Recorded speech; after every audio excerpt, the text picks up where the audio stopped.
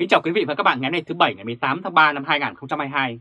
Kính mời các bạn xem bản tin Putin cho bắt giữ tướng lĩnh hàng đầu, bất tài hay phản bội. Tổng thống Nga Vladimir Putin tỏ ra rất không hài lòng với diễn biến của cuộc chiến tại Ukraine. Đây là một cuộc chiến xâm lược. Sau khi sa thải một số sĩ quan và quản thúc tại gia một số nhân viên mật vụ, ông được cho là đã ra lệnh bắt giữ một vị tướng khác. Đây là hình ảnh bài báo trên kênh truyền hình Đức NTV đăng tin về vụ việc này. Về mặt chính thức thì Vladimir Putin tiếp tục tuyên bố rằng hoạt động quân sự đặc biệt ở Ukraine đang diễn ra theo đúng kế hoạch. Tuy nhiên, về mặt nội bộ, Tổng thống Nga hoàn toàn không hài lòng về sự phát triển của cuộc chiến xâm lược của ông ở quốc gia láng giềng. Tờ báo The Telegraph dẫn lời từ một bộ trưởng Anh cho biết ông đã ra lệnh bắt giữ tướng Roman Galov, một trong những sĩ quan quân đội cấp cao nhất của Nga. Tuy nhiên, Duma, Quốc hội Nga đã phủ nhận tin này và nói rằng Kadyrov chỉ đơn thuần là từ chức. Đây là hình ảnh tướng Roman Kadyrov được cho rằng đã bị Putin bắt giam. Putin đã có một bài phát biểu đáng lo ngại vào tuần trước diễn ra giữa bối cảnh cuộc chiến của Nga tại Ukraine ngày càng một xa lầy. Nga được cho rằng đã mất khoảng hơn 7.000 quân và rất nhiều phương tiện chiến tranh. Trong đó Putin một lần nữa bảo vệ chiến dịch quân sự ở Ukraine, nhưng trước những tổn thất ngày càng gia tăng, ông cũng tuyên bố rằng Nga sẽ thanh trừng những kẻ phản bội. Theo Moscow, cho đến nay đã có 498 chiến sĩ thiệt mạng trong chiến dịch quân sự. Mỹ thì cho rằng thiệt hại thực tế của Nga lên tới 7.000 binh sĩ và 21.000 người bị thương. Ukraine thì tuyên bố họ đã giết chết 13.500 binh sĩ Nga. Tướng Roman Karylov, Phó Tư lệnh Vệ binh Quốc gia Nga, ông được cho là chỉ huy dẫn đầu cuộc xâm lược Ukraine nhưng đã bị tổn hại nặng nề trong cuộc chiến xâm lược này. Và gần 1.000 tù binh của quân đội Nga đã bị Ukraine bắt giữ. Đây là hình ảnh xe tăng và phương tiện chiến tranh của Nga bị vứt lại vùng vãi khắp nơi tại Ukraine và người dân thường kéo về. Lãng phí nhiên liệu, hai cách giải thích đang được đưa ra để biện hộ cho vụ bắt giữ. Christo Korev, chuyên gia về Nga tại mạng lưới nghiên cứu Beklikrab viết trên trang tweet một nguồn tin thông báo với ông rằng Kadyrov đã tiết lộ thông tin quân sự dẫn đến thiệt hại về nhân mạng. Hai nguồn tin khác nhau nói rằng ông ta đã lãng phí nhiên liệu. Với một bình luận, Korev cho biết rõ ông ta nghĩ gì về lý do nhiên liệu. Chuyên gia Nga này cũng không thể xác nhận được hay bác bỏ việc Kadyrov có thực sự tiết lộ thông tin quân sự hay không. Điều duy nhất rõ ràng là Kadyrov đã bị trừng phạt. Báo chí Nga do nhà nước kiểm soát đưa tin rằng vị tướng này đã bị sa thải. Đây là hình ảnh ông tướng Kadyrov đã bị Putin sa thải bất ngờ vì thất bại trong cuộc chiến xâm lược tại Ukraine quản thúc tại gia và sa thải. Vụ bắt giữ này là một trong những loạt các biện pháp trừng phạt cá nhân. Một tuần trước, có thông tin cho rằng Putin đã sa thải 8 tướng lĩnh. Thông tin nói rằng họ đã không hoàn thành nhiệm vụ. Trước đó, rõ ràng là trái với những gì đã được mong lợi sẽ không có thành công quân sự nhanh chóng ở Ukraine như Putin từng nghĩ. Cũng một tuần trước, có thông tin cho rằng Tổng thống Nga đã công kích những người chịu trách nhiệm về đối ngoại của cơ quan mật vụ trong nước FSB tại một cuộc họp an ninh. Nhà báo điều tra, chuyên gia về Điện Kremlin và chuyên gia quân sự Andre từ tờ báo trực tuyến độc lập Medusa đã viết trên trang tweet rằng Putin đã quản thúc người đứng đầu Sergei Berada và cấp phó của ông ta. Họ phải cáo buộc đã cung cấp thông tin được tô hồng cho Putin trước chiến tranh và làm cho Putin tưởng rằng người Ukraine sẽ chào đón khi quân đội của Putin tràn đến đất nước này, nhưng hoàn toàn ngược lại. Đây là hình ảnh người đứng đầu cơ quan mật vụ trong nước FSB Sergei Bezeda đã bị Putin quản thúc. Tổng thống Nga đã không thể che giấu sự tức giận của mình trước diễn biến của cuộc xâm lược và các lệnh trừng phạt quốc tế đang áp đặt ngày một nhiều lên nước Nga. Trong bài phát biểu của mình trong tuần, ông tuyên bố sẵn sàng trừng phạt những người mà ông cho rằng có trách nhiệm. Ông Putin nói rằng, bất kỳ dân tộc nào đặc biệt là dân tộc Nga, sẽ luôn có thể nhận ra những kẻ điên rồ và những kẻ phản bội và khạc nhổ chúng ra như người ta khạc nhổ một con ruồi đã bay vào miệng. Tôi tin tưởng chắc chắn rằng sự thanh lọc xã hội thực sự và sự cần thiết như vậy sẽ chỉ tăng cường sức mạnh của đất nước chúng ta. Và một số tướng lĩnh của Nga gần đây liên tục bị hy sinh là bắn chết tại chiến trường Ukraine. Điều này gây ra tổn thất to lớn cho quân đội Nga.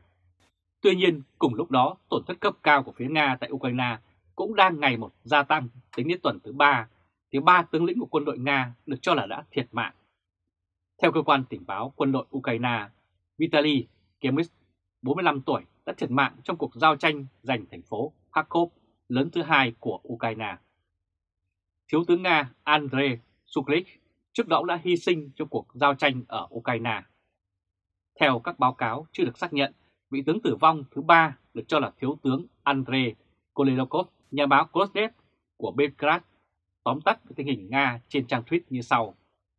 Có một điều rõ ràng là Putin nhận ra tình trạng lộn xộn của chiến dịch này. Thật là tệ khi ông ta đổi ngựa giữa dòng, một điều cấm kỵ lớn trong chiến tranh. Kính mời các bạn xem bản tin Putin đã mắc một sai lầm khủng khiếp. Ông Tổng Thư ký của khối NATO Stoltenberg vừa đưa ra phát ngôn này để cảnh cáo Putin và thông báo với thế giới về sự nguy hiểm của nhà độc tài. Bây giờ là ngày thứ 22 trong cuộc chiến lẫm máu của Putin đang xâm lược và hủy diệt Ukraine, đưa đến cái chết của hàng ngàn người dân vô tội và gần một chục ngàn người lính Nga đã bị chết. Đây là hình ảnh gần 3 triệu người dân Ukraine đã phải rời bỏ tổ quốc của mình để đi tị nạn chiến tranh sang các nước xung quanh, và số lượng này càng tăng lên mỗi ngày. Người đứng đầu của khối NATO Jens Stoltenberg, 62 tuổi, đã trả lời báo chí vào chiều thứ Năm về cuộc chiến mà ông Putin đã phát động vào Ukraine và kế hoạch xâm lược chốt nhoáng đã thất bại hoàn toàn. Ông nói Putin đã mắc một sai lầm khủng khiếp, đó là cuộc chiến của Putin và đó là sự sai lầm lớn nhất của ông ấy. Và đối diện với sai lầm này, chắc chắn Putin phải trả giá rất nặng. Bởi theo ông Stoltenberg, ông ấy đã đánh giá thấp tuyệt đối sức mạnh và lòng dũng cảm của quân đội Ukraine, ban lãnh đạo Ukraine, Tổng thống Zelensky và người dân Ukraine. Họ đã dũng cảm đứng lên chống trả quân xâm lược. Đây là hình ảnh Tổng thống Ukraine Zelensky sát cánh cùng người dân chống lại cuộc chiến xâm lược của Nga do Putin khởi xướng. Điều này gây bất ngờ cho rất nhiều người dân trên toàn thế giới, ngay cả những kẻ độc tài nhất cũng không tưởng tượng được Putin đã làm vậy. Và những kẻ độc tài của Điện Kremlin có lẽ không mong đợi một phản ứng đoàn kết và hiệu quả như vậy từ Liên minh phòng thủ phương Tây NATO. Ông Stoltenberg nói tiếp. Chúng tôi đã hỗ trợ Ukraine về tài chính, nhân đạo và cả về quân sự. Ông Stoltenberg nói tiếp rằng, và chúng tôi sẽ khiến Nga phải trả giá rất đắt cho cuộc chiến tàn bạo và vô nghĩa này. Mọi cái dần dần hiện hữu, nước Nga bị bao vây cô lập trên toàn thế giới. Đây là hình ảnh các nước trên thế giới cắt đứt quan hệ kinh tế, quân sự và ngoại giao với Nga rất nhiều. Trong vài ngày qua, các báo cáo và cảnh quay kinh hoàng về tội ác chiến tranh do các binh sĩ của Putin thực hiện thay mặt cho bạo chúa ở Điện Kremlin ở Ukraine đã được ghi nhận ngày một nhiều và thêm trồng chất nghiêm trọng. Trong số đó, các vụ đánh bom vào nhà dân, vào trường học, vào bệnh viện, vào nhà hát và thành phố Mariupol đang bị bao vây, nguồn cung cấp nước và điện cũng như giết chết rất nhiều thường dân. Và binh lính của Putin cũng bắn vào những người chạy trốn khỏi thành phố này, một tội ác rất dã man. Và những người dân thường đang bị khủng bố bởi chính Putin, kẻ độc tài. Ông Stoltenberg nói tiếp, chúng tôi nghe các báo cáo và thấy các bằng chứng về việc thường dân bị giết. Các bệnh viện đang bị tấn công. Đó là lý do tại sao NATO rất vui mừng vì Tòa án Công lý Quốc tế đã mở cuộc điều tra về các tội ác chiến tranh chống lại loài người do ông Putin khởi xướng và kết quả đã như mong đợi. Đây là hình ảnh Tòa án tối cao của Liên Hợp Quốc vừa ra phán quyết yêu cầu Nga phải chấm dứt ngay lập tức cuộc chiến tại Ukraine. Sau đó, ông Stoltenberg nói về liên minh quốc phòng của mình. Ông một nữa nhấn mạnh rằng không có máy bay NATO nào sẽ được đưa vào không phận của Ukraine để tránh leo thang càng nhiều càng tốt. Ông nói tiếp, nhưng những gì chúng tôi đang quan sát hiện nay ở Ukraine thật khủng khiếp. Nó mang tính hủy diệt. Chúng ta nhìn thấy cái chết và sự hủy diệt. Điều này đang leo thang vượt ra ngoài biên giới. Nếu điều đó xảy ra, thì chúng tôi sẽ chứng kiến nhiều cái chết chóc và tàn phá hơn nữa.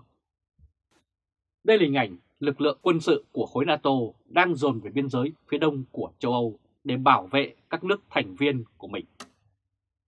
Sau đó, ông cũng cảnh báo trực tiếp với ông Putin về sự leo thang như vậy bên ngoài lãnh thổ Ukraine như sau. Chúng tôi có các lực lượng ở các mức độ sẵn sàng khác nhau. Trong số đó có 200 tàu chiến và hơn 100 máy bay chiến đấu túc trực trên lãnh thổ của NATO. Và ngoài ra, một số binh sĩ trong số này đã sẵn sàng chiến đấu nếu cần thiết. Ông nêu ví dụ về các nhóm chiến đấu ở Litva dưới sự lãnh đạo của Đức, Latvia, Estonia và Ba Lan. Ông nói, chúng tôi hiện cũng đã thiết lập một số ở Romania và chúng tôi sẽ gửi nhiều hơn đến phòng tuyến phía đông của Liên minh và chúng tôi sẽ tăng cường chúng. Chúng tôi cũng có máy bay và tàu chiến luôn sẵn sàng, ông Stoltenberg đã nói, bởi vì chúng tôi bảo vệ các đồng minh của mình và chúng tôi củng cố an ninh vì nó là an ninh của tất cả các đồng minh. Đối với điều này, chúng tôi sẽ làm những gì cần thiết, ông nói.